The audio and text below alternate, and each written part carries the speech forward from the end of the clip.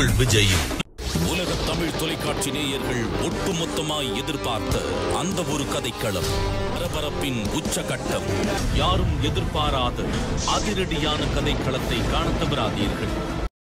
சூப்பரான வணக்கம். கேஸ் இந்த வீடியோவில் நம்ம பார்க்க போகிற விஷயம் என்ன அப்படின்றதுக்கு முன்னுக்கா சப்ஸ்கிரைப் பண்ணிட்டு ட்ரீம் உள்ளுக்குள்ளே வாங்க ஓகேவா ஸோ இந்த வீடியோவில் நம்ம பார்க்க போகிற விஷயம் மகா நதி சீரியல். மகா நதி சீரியல் ஒரு பெரிய ஒரு நதி எப்படியெல்லாம் க்ராஸ் பண்ணி போகுமோ அப்படியெல்லாம் க்ராஸ் பண்ணி க்ராஸ் பண்ணி க்ராஸ் பண்ணி போயிட்டு இருக்காங்க.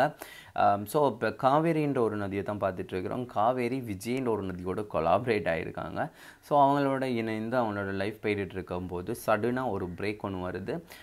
நம்மளோட காவேரிக்கு ஒரு முன்னுக்கு ஒரு காதல் ஒன்று இருந்துருச்சுண்டு தர் திருமணத்துக்கு பிறகு தான் நம்மளோட விஜய்க்கு தெரிய வருது.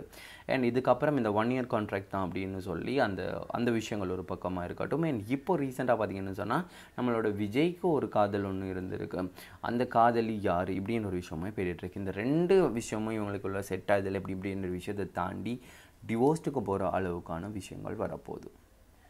இவங்க ரெண்டு பேருமே டிவோர்ஸ்ட்டுக்கு போனாங்கன்னு சொல்லி சொன்னால் டிவோர்ஸ் கிடைக்குமா? இதை தாத்தா எப்படி ஹேண்டில் பண்ண போகிறாங்க அண்ட் இவங்களுக்குள்ள உண்மைக்குமே ஒரு லவ் ஒன்று இல்லையா? அப்படின்ற நிறைய விஷயங்கள் இருக்குது ஸோ அட்ஜஸ்ட்மெண்ட் அண்ட் அவங்களோட ஒரு என்ன சொல்கிற அவங்களோட பிரிஞ்சு போக்குள்ள தான் அவங்களோட பொண்டிங் எப்படி அப்படின்னு சொல்லி தெரியும். அவங்களுக்கு ஏதாவது ஒரு ஆபத்து வரக்குள்ள.